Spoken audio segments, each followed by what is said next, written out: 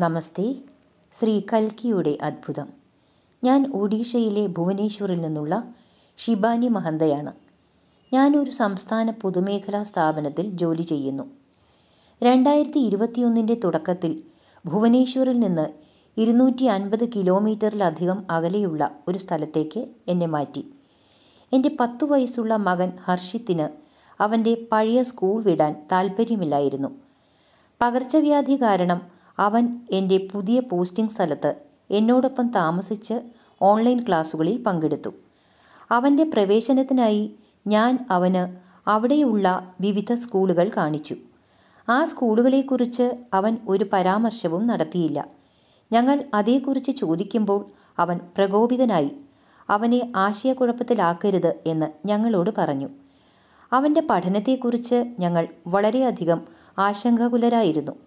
അവനുവേണ്ടി ശ്രീ കൽക്കിയോട് പ്രാർത്ഥിച്ചു. നേരത്തെ രണ്ടു തവണ അവൻ കുട്ടികളുടെ കോഴ്സിൽ പങ്കെടുത്തിരുന്നു.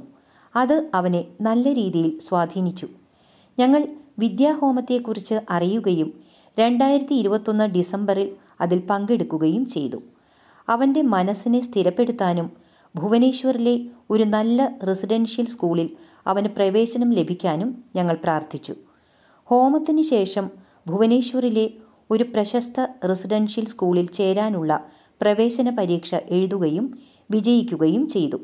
ഇപ്പോൾ അവൻ ആ സ്കൂളിൽ ചേർന്നു. സന്തോഷത്തോടെ പഠനം തുടരുന്നു. ദൈവാനുഗ്രഹത്താൽ ഞങ്ങളുടെ പ്രശ്നം പരിഹരിച്ചു.